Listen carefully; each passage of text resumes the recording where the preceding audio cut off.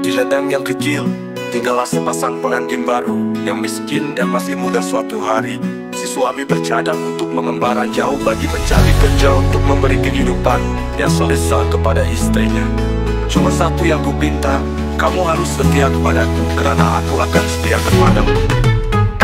Setelah jauh berjalan akhirnya dia bertemu dengan seorang peladang yang memerlukan pekerja Pemuda itu menawarkan hikmatnya dengan syarat Saya akan bekerja selama mana yang saya mau Dan apabila saya ingin pulang tolong lepaskan saya daripada pekerjaan saya.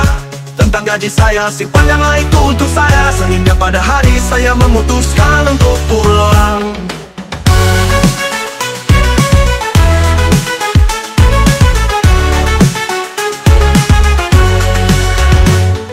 Tahun lamanya pemuda itu bekerja tanpa cuti dan rehat Setelah itu dia mendatangi majikannya dan berkata Keluar saya mau kamar saya. Karena saya ingin pulang. Majikan itu menjawab Baiklah bagaimanapun sebelum kamu pergi saya ada tawaran baru untukmu. Tiga nasihat dan engkau tidak akan dapat uangmu. Atau saya akan berikan semua uangmu dan benarkan kau pergi. Setelah dua hari berpikir akhirnya pemuda itu memilih tiga nasihat Sambil memberikan tiga buku roti kepada pemuda itu. Majikan itu berkata jangan mengambil jalan pintas dalam kehidupanmu. Jalan pintas dan tidak diketahui boleh membahayakan nyawamu. Jangan sekali-kali terlalu ingin tahu Kerana keingintahuan terhadap kejahatan boleh membunuh. Jangan membuat keputusan ketika dalam kemarahan Atau kesakitan. Kerana apabila kamu menyesal itu sudah terlambat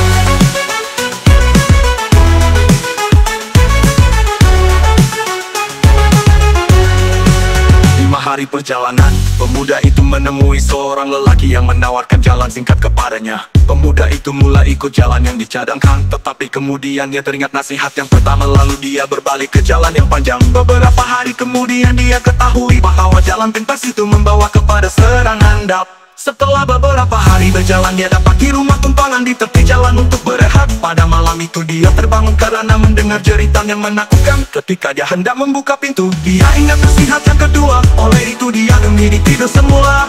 Besok paginya setelah mengesahkan bahwa pemuda itu mendengar cerita semalam. Tuan rumah itu berkata Kamulah tetamu pertama yang meninggalkan rumah ini. Hidup-hidup, hidup, hidup. Jiran saya benar-benar gila Dia biasanya menjerit pada waktu malam. Dan apabila tetamu keluar Dia membunuh mereka dan mengubur mayat mereka di belakang rumah. Akhirnya pemuda itu nampak rumahnya dari jauh. Waktu itu sudah malam dan dia nampak bayang-bayang istrinya. Tetapi istrinya tidak bersendirian. Pemuda itu mendekat dan melihat ada seorang lelaki bersama istrinya. Dia memutuskan untuk membunuh mereka berdua tanpa belas kasihan Bagaimanapun dia menarik nafas panjang dan mengingati nasihatnya ketiga. Lalu dia memutuskan untuk tidur di semak Besok baru buat keputusan.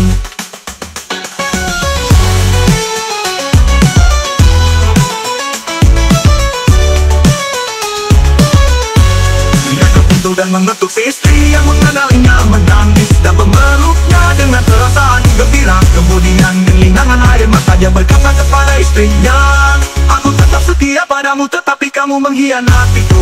Setelah mendengarkan istrinya Si suami memohon ampun. Dia berjumpa dan memeluk anaknya. Kemudian dia menceritakan semua yang dia alami selama pemergiannya. Sementara itu istrinya menyediakan minuman untuk mereka makan bersama roti terakhir yang diberi majikan. Selepas doa kesyukuran dan memecahkan roti Dia melihat uangnya Pada gajinya yang sepatutnya